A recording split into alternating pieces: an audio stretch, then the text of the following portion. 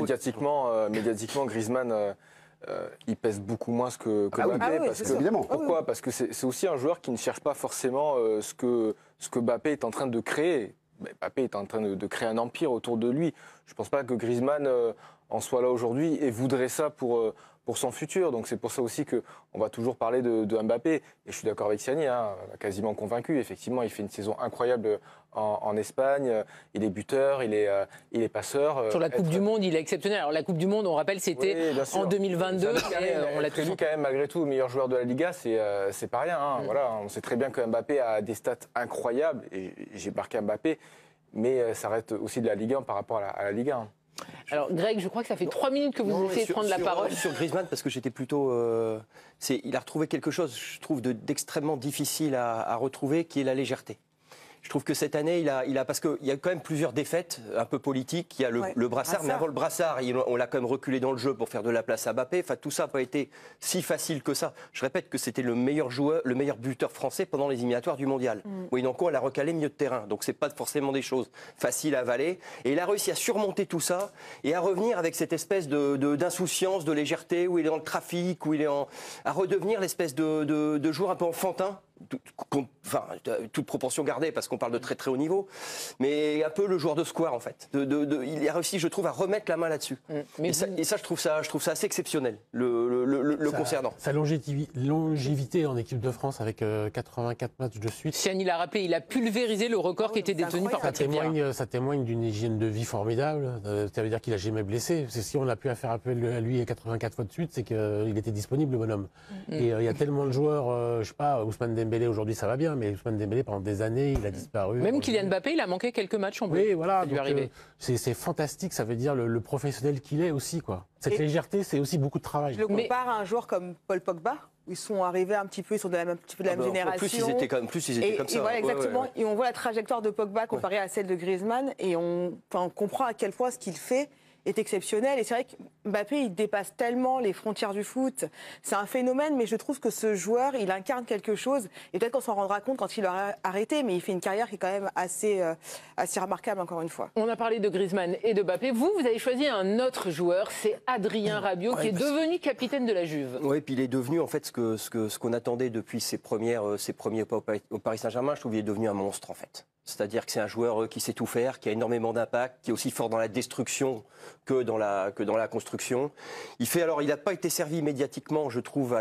pour sa Coupe du Monde, alors qu'il fait une Coupe du Monde, en tout cas vu des tribunes phénoménales. Contre l'Australie, il nous remet dans tout seul. Contre les Anglais, il fait un match à, à hurler. Donc je, je trouve que ça, ça et c'est un petit peu, comment dire, contrebalancé par sa discrétion parce que c'est quelqu'un qui donne pas des interviews tous les quarts d'heure. Il n'y a pas un prisme médiatique qui, qui- qui pousse derrière lui. Je trouve qu'il n'a pas à le payer. À un moment donné, le mec, tu le juges sur les matchs, et il est devenu l'un des meilleurs milieux de terrain de la planète dans tous les, je trouve, dans tous les compartiments, que ce soit le jeu aérien, que ce soit la dureté, le- le- la méchanceté, la langue, Il marque la, la des buts culture aussi, tactique, il marque des buts. C'est vraiment, c'est vraiment devenu un monstre en fait, comme un peu l'idée que je me faisais de joueurs comme Rijkaard quand j'étais petit Mm. ou des, des- des joueurs comme ça. Ça, tu- il, il sait tellement tout faire que, et je pense que Deschamps, il- il- s'il met deux trois noms sur euh, avant tout le monde sur sa sur sa compo, je suis sûr qu'il met le sien. Déjà, il lui a pardonné. Il a dit que c'était un joueur, il a dit que c'était le joueur qui donnait l'équilibre à son équipe. hein. Voilà, mais il fait pas que ça. Il va, il va, oui. il va, il va mâcher, il va, Mais il va- c'est, euh, enfin, voilà. dans, dans le- dans la bouche de Deschamps, c'est Oui, c'est beaucoup. un, Ouais. un beau compliment. Et vous, vous avez choisi un, Oui. un petit jeune, la pépite, Ouais. Zaire Emery. Ouais, alors même si les gens vont me dire, mais oui, mais c'est que depuis le mois d'août, tu t'as oublié les, les six premiers mois. Bon, déjà, il avait, il avait euh, été aperçu. euh, Avec Galtier, sous il avait Christophe Galtier qui lui a donné euh, sa chance. Euh, il a fait un huitième de finale aller euh, de Ligue des Champions euh, contre le Bayern, puisqu'il y avait des, quelques suspendus. Et... Donc voilà, donc il, était déjà dans le décor, mais là, ce que je vois depuis cinq mois, euh, la sidération, elle est la même que euh, quand j'ai vu Mbappé euh, à Monaco. En fait, parmi les jeunes qu'on a vu émerger, là, les Chouameni, les Kamavinga, aucun n'a le talent de, de, Zaire dans tous les domaines du, jeu, comme l'a dit Greg pour Rabiot. Et puis, franchement, c'est ouais, c'est c'est la même sidération que j'ai eue quand j'ai vu les premiers pas de, de Mbappé à- avec Falcao et Bruno et euh, Bernard Germain à Monaco. Je dis waouh, c'est quoi ce, ce gars-là? Et euh, il a, il a 17 ans et bon, il aura 18 ans en mars.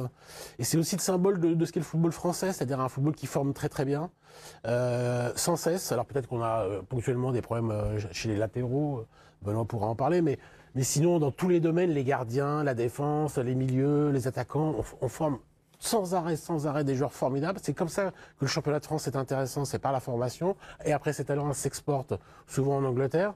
Donc je trouve que c'est, euh, ouais, c'est, on en a pris pour, euh, pour 12, ou 12 ou 13 ans avec lui. Euh, comme disait euh, encore une fois Greg, il, il a peut-être le jeu de tête euh, éventuellement euh, il- comme petit défaut, mais je vois pas. Il a le temps de le travailler. Oui, après. voilà, et je, mais je vois pas trop qu'est-ce qu'il peut avoir comme Mais ce qui est intéressant cette fois-ci avec le PSG, c'est qu'ils ont réussi à le garder et à le- l'amener jusqu'à l'équipe première, parce que le nombre de joueurs comme ça qui sont qui sont pas restés au PSG, les Coman euh, par exemple, qui sont partis. Il y avait eu Rabiot. il y avait- Exactement. voilà. Qui a du talent, et là j'espère que le PSG va quand même euh, s'inscrire dans la durée avec lui, parce Ah que ce serait dommage de perdre un tel joueur. Et puis on en a parlé évidemment depuis le début de saison. Euh, Warren Zaïre-Emery, il a battu plusieurs records de précocité avec le Paris Saint-Germain et l'équipe de France d'ailleurs. Mais ce n'est pas seulement que cette saison. Regardez, on en a sélectionné trois. Alors déjà, il est devenu le plus jeune buteur de l'histoire du PSG. Il n'avait même pas encore 17 ans. 16 ans et 11 mois, le plus jeune joueur français a joué un match à élimination directe de C1. Dominique Sévrac l'a dit. Il a joué à l'aller et au retour contre le Bayern, même si au retour, il n'était que remplaçant entre guillemets. Et puis 17 ans et 8 mois, il est devenu le plus jeune buteur euh, de l'histoire de l'équipe de France. Et en jouant d'ailleurs lors de ce fameux match contre Gibraltar où il s'est blessé, il a été le plus jeune joueur français sélectionné depuis euh, le tout début du XXe siècle. C'était des records qui dataient d'il y a environ 100 ans. Et Le jeune buteur de devait- l'histoire de l'équipe de France après-guerre, on rappelle. Il devait finir 2023, il revient, il marque à Dortmund. Quoi. Exactement. Sur plus, jeune- Ah ouais. Plus jeune buteur du, PSG, il faut quand même mesurer ce qu'est le PSG aujourd'hui. C'est-à-dire que tu dois juste te faire ta place dans un vestiaire où tu as 25 internationaux quand même. Enfin, ça n'a jamais été aussi difficile de se faire une place sur le terrain au Paris Saint-Germain. Donc le fait qu'il réussisse ça suffit, même, même quelque part pour le propulseur d'équipe de France. Où, Bono, comment ça se passe entre Kylian Mbappé et Zaire Emery? Parce qu'il y a eu les départs de Neymar et Messi, on pensait que toute la lumière serait sur Mbappé, et puis au final, il y a euh, le petit jeune de 17 ans qui arrive et qui explose tout. Il fait la une. Le lendemain, vous l'avez euh, rappelé, du match euh, face à Dortmund, c'est Zaire Emery qui est en une. C'est lui l'unique buteur du Ils côté sont de du la même PSG. planète, Karine. Comment Ils sont sur la même planète, en fait. Ils vivent sur la même planète. Et euh, en fait, Kylian... Oui, mais ils ont quand même 8 ans d'écart, c'est beaucoup. Ouais, mais Kylian Mbappé, euh, ce genre de ce genre de joueur, il il l'accepte euh, et il le couve. Euh, c'est un peu ça qui ressort. Après derrière, on va on va juste rappeler que Warren Zaïre-Emery, je voudrais rebondir sur ce que vient de dire Greg, il a survécu à ce qui s'est passé l'année dernière. Ce qui est quand même pour un gamin, euh, c'était la guerre intégrale entre les Neymar, les Messi, etc. Et lui là-dedans. Tu le mettais latéral droit, parce que Ouais, c'est ce qui s'est passé. ça, hein. ouais. Latéral droit, milieu droit, Il central. Il était content, il jouait à Monaco. Toute l'équipe sombre, il n'y en a pas un qui veut jouer. Bah, lui, il prend le ballon, il va marquer, il fait ses matchs. Le- en fait, en gros, il a passé le plus dur. Et là, désormais, il est le limite le patron. C'est le meilleur joueur de, de- Ouais. du début de saison du. PSG. Ce qui- ce qui est dingue. ce Le plus régulier. Et PSG Donc devant Mbappé. Oui, oui. le plus régulier. Par exemple, à Newcastle, on parlait de, Romain parlait de Newcastle en ouverture euh, de l'émission. Match Euh, aller. Ah, Ouais, match aller. match aller, ils sont, ils sont nuls tous. Hein. Hum. Ils perdent 4-1. Euh, lui, ils sont tous nuls sauf un, euh, qui est moins nul que les autres, on va dire. Et voir qui est pas nul, c'est lui. qui fait une passe D pour euh, Lucas Hernandez. Et c'est-à-dire qu'un soir où tout le monde sombre, c'est le gars de 17 ans qui, qui maintient à peu près à flot. Alors, 1 sur 11, ça peut pas, ça peut pas tenir, donc ils Non, ont pris une, une pilule. Mais, euh, mais c'est- incroyable. Et après, par rapport à votre question, Karine, ils sont, euh, il est très pote avec Ethan, le, le frère de, Le petit frère. donc euh, ça, ça crée des liens. Si vous parliez par exemple de liens euh, en- affectifs, tout ça, à la fois il le couve euh, Mbappé et à la fois il le kiffe parce que c'est euh, c'est le copain. Vous parlez comme les jeunes, c'est très mignon. Bah, c'est comme ça qu'on dit, c'est la kiffance, hein, Karine. Je crois que ça se dit plus depuis 2020. Ah oui, d'accord. Voilà. Mais je dis encore à Donf, je dis encore à Donf qui se dit Oui, plus de 30 faites attention, après. vous pouvez vite finir sur le banc aussi. Oui, hein. ah d'accord, Voilà, pour euh, travailler votre vocabulaire des, des jeunes Benoît. Oui, effectivement, euh, Ryan Zahir Emery, ce qu'il fait, c'est, euh, ça reste un- incroyable. hein. Dominique a tout dit sur le, sur le profil du, euh, du joueur. Euh, moi, ce que je trouve incroyable, c'est euh, quand il y a des, euh, des, des joueurs comme ça qui, euh, qui éclatent au, au, au grand jour et qui ont un, un niveau footballistique incroyable. Euh, on dit souvent euh, l'insouciance prend le pas, euh, euh, ça va tenir six mois et puis on verra après. Ouais. Lui, euh, il n'y a pas cette insouciance en fait euh, qu'a eu. euh, J'ai connu un peu dans ma génération des Atem Ben Arfa où on voyait avec l'insouciance, il créait des choses, c'était incroyable, mais on a vu que sur la régularité, ça tenait pas. Warren Zahir Emery, on voit qu'en fait, il y a de l'insouciance, mais ce, qui, paraît le, plus incroyable, c'est la sérénité qu'il a sur le, le terrain lorsque vous jouez en Champions League et qu'il est dos au but et qu'il a cette sérénité de, de, contrôler le, joueur qui est dans le dos, qui, le presse, euh, et que techniquement il arrive à se retourner et à, faire ce qu'il fait à cet âge-là, euh, c'est quand même très fort. Et euh, effectivement, on fait la comparaison avec Mbappé, on en devient même à dire que c'est peut-être le meilleur joueur du Paris Saint-Germain. Donc à son âge, c'est quand même. Sur la première partie de saison, effectivement, il a été excellent. Voilà donc pour ce Français de l'année 2023. Maintenant, messieurs, dames, nous allons jouer. J'ai fait une vidéo dernièrement où j'expliquais que pour moi, Antoine Griezmann est en dessous de Kylian Mbappé. Et les gens sont venus me dire en commentaire que non, c'est parce que Kylian Mbappé joue au PSG, Antoine Griezmann ne joue pas dans un grand club, etc. Bref, on va essayer de redébattre sur cette thématique. Salut à toi et bienvenue dans cette vidéo. Dans cette vidéo, on va parler de Kylian Mbappé vs Antoine Griezmann. Mais avant de commencer, si tu me découvres à travers cette vidéo, ici, nous, on parle de foot. Ici, nous, on est passionné par le foot. Donc, si tu es intéressé par la thématique, si la thématique te parle, n'hésite pas de t'abonner, d'activer la cloche de notification pour ne rien manquer des prochaines vidéos qui vont arriver sur la chaîne. Si c'est fait, on est parti. Alors, les amis, j'ai fait une vidéo dernièrement où je comparais Kylian Mbappé et Antoine Griezmann, les amis. Lorsque tu compares ces deux joueurs, avant de comparer, je donne d'abord les stats. Kylian Mbappé en 2023. En 2023, c'est 53 matchs joués pour 52 buts marqués. Écoutez d'abord, 53 matchs joués pour 52 buts marqués. Avec 34 buts. 34 buts en Ligue 1 pour 10 buts en bleu avec 14 passes décisives.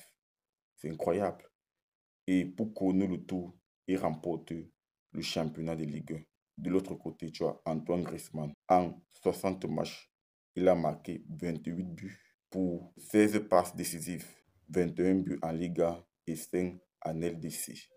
Lorsque tu compares ces stats, rien que là, en termes de stats, il n'y a pas photo. En termes de statistiques, rien que là, il n'y a pas photo. Pour moi, Kylian Mbappé est au-dessus de Antoine Griezmann. Si tu es coach, si tu es coach, tu vas choisir qui? Si tu es coach peut-être de Manchester United, tu vas choisir qui? Tu vas choisir Antoine Griezmann? Mais il faut être sérieux. Je prends Kylian tous les jours. Je prends Kylian Mbappé tous les jours, les amis. Kylian Mbappé, il est régulier. Il te garantit environ 40 à 50 buts chaque saison. 40 à 50 buts, les amis. En dehors peut-être de Erling Haaland, qui va te garantir un tel ratio de but. Il n'y en a personne. En dehors peut-être de Erling Haaland, il n'y en a personne. Le mec te garantit entre 40 et 50 buts chaque saison. Mais c'est du pain béni. Antoine Griezmann, les amis, c'est un bon joueur. C'est un très bon joueur. Mais je ne pense pas qu'il est au-dessus de Kylian Mbappé. Kylian Mbappé postule au ballon d'or. Kylian Mbappé fait partie des joueurs qui postulent pour le ballon d'or. Il fait partie des joueurs qui postulent pour le ballon d'or, les amis. Avec Erling Haaland. Et vous voulez comparer ce de joueur avec Antoine Griezmann? Pour moi, ce n'est pas possible. Griezmann, c'est un très bon joueur. Très bon joueur. C'est peut-être le meilleur joueur de l'histoire de l'Atlético de Madrid. Mais lorsque tu compares ce qu'il fait avec ce que Kylian fait, pour moi, il y a un gap, il y a un gouffre. Il y a vraiment un gouffre. Mbappé est sollicité dans tous les clubs européens. Ce n'est pas parce qu'il est plus jeune que Antoine Griezmann, c'est aussi en termes de talent.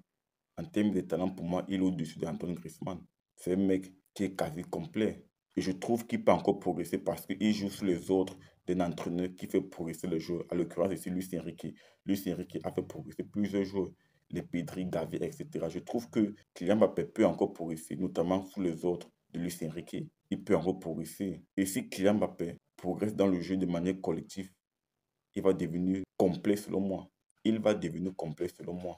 Parce que je trouve que je trouve qu'il a encore des lacunes dans le jeu. S'il peaufine son jeu, s'il peaufine son collectif, il sera encore très très fort. Il sera encore très très fort, les amis. Donc, euh, Antoine Griezmann, les amis, ses stats sont vraiment incroyables. Mais derrière, tu as presque un extraterrestre. Tu as presque un extraterrestre. Parce que pour moi, les extraterrestres, ce sont Messi et Cristiano Ronaldo. Mbappé est en dessous de Messi et Cristiano Ronaldo. Donc, Griezmann et Kylian Mbappé ne boxent pas dans la même catégorie. Ces deux jeunes ne boxent pas dans la même catégorie. Pour moi, Kylian est au-dessus de Antoine Griezmann. Après, je peux comprendre le pro Griezmann. Je peux le comprendre. Mais lorsque tu analyses de manière rationnelle, de manière objective, tu vas te rendre compte que Kylian est au-dessus de Antoine Griezmann. Après, toi qui me regardes, partage-moi ton ressenti en commentaire. Est-ce que tu penses que Kylian Mbappé est au-dessus ou alors tu penses tout simplement que Antoine Griezmann est meilleur que Kylian, surtout durant cette année 2023. Partage-moi ton ressenti une fois de plus. Et si ce n'est pas encore fait, n'hésite pas à t'abonner, d'activer la cloche de notification pour ne rien manquer des prochaines vidéos. Ce sont à très bientôt pour notre vidéo, les amis. Ciao, ciao.